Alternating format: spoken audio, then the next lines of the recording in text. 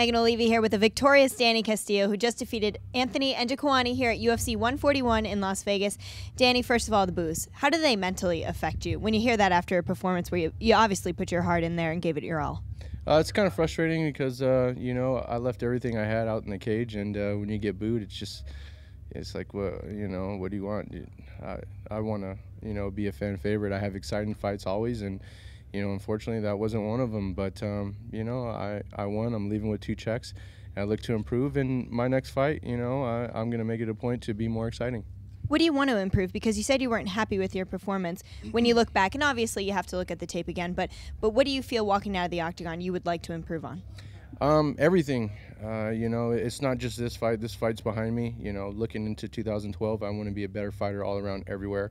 Um, I think. Uh, you know, I'm a better jiu-jitsu player than he was, and I was a little bit frustrated that I, uh, you know, wasn't more active um, in terms of looking for submissions. So that's something I'm going to work on, and um, and I, I, plan to be plan to come back a um, better jiu-jitsu player in 2012. Did anything about Anthony's performance surprise you when you when you actually got in there with him? Um, you know, he's a little bit stronger than, than I thought he was, and um, you know his takedown defense was pretty good. I didn't think it was that that uh, was going to be that strong. But uh, in terms of anything else, you know, he's a dangerous striker, a dynamic striker. I knew what I was getting into, and um, you know, he didn't surprise me there. He brought it, and uh, you know, obviously I, I, won, so I came out victorious. I'm, I'm happy. I'm happy with that. I spoke to you uh, before this fight, and you said that you had a good game plan, and you felt like your game plan would be better than his, and that's why you would get the victory. Did you execute that game plan tonight? Do you feel that you did exactly what you wanted to when you were training? Um, I don't necessarily think I, I played the game plan 100 percent. Um, you know, the game plan was to take him down and look for a submission. Um, I wasn't as active um, in side control or, or with the mount um, or half guard. But um, you know, other than that, you know, I, I, I took him down like I wanted to, and I believe I can. I had the cage control. Um, you know, I put him in the fence, and I took him down with some big slams.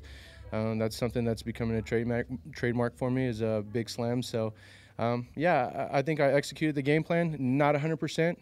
But um, you know, when you're going up against uh, another dynamic, anyone in the UFC is, you know, a, a great fighter. So I, I, think I did a good job and enough to get the victory. So I'm happy with that. Yeah. How did you score the rounds? Actually, did you give yourself all three? Uh, what was your take on that? I'd say I, I won the first um, and third round. The second was questionable. Um, you know, he uh, he had the better stand up in the second round. But I thought because of my takedowns in the second round, I think I took him down twice in the second round. I thought I, I won the round with that. But um, you know, uh, obviously there was a the judge out there that didn't believe that. So I don't know. Physically, how do you feel? Because we just saw you fight in San Jose, and that was about five weeks ago. So two fights, two different opponents in two months. How's your body holding up? Uh, my body's good. Um, you know, I'm, I'm not a, a 22 year old kid anymore. You know, uh, I'm I'm getting up there. I'm I'm, I'm 32, but um, you know, with Team Alpha Male, there's no off season. We train year round. Uh, don't get ready, stay ready. So uh, I think with that mentality and um, you know the the team motto, um, it's helped me you know be able to deal with uh, this this busy schedule. You know, my my last uh, the last six months have been pretty busy for myself. Do you feel like you want to take a little vacation now that you had two back-to-back fights?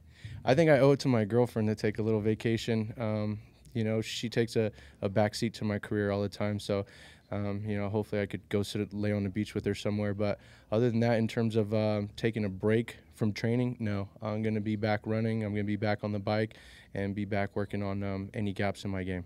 All right. Now, when you were when you were speaking to Joe Rogan post fight, uh, there were some boos, and, and it was like you couldn't finish your, your speech. Do you want to maybe finish that right now? Um, that it was just I was I want to thank my mom. I want to thank my girlfriend. Um, you know, those are uh, two ladies that are real that play a huge role in my life, and uh, they're motivation for me. And um, I wanted to to thank them, but uh, unfortunately, I got booed and I wasn't able to. All right. Well, you just had the chance, and now they get to see that, and you probably made their night. Congratulations, Danny. Go celebrate.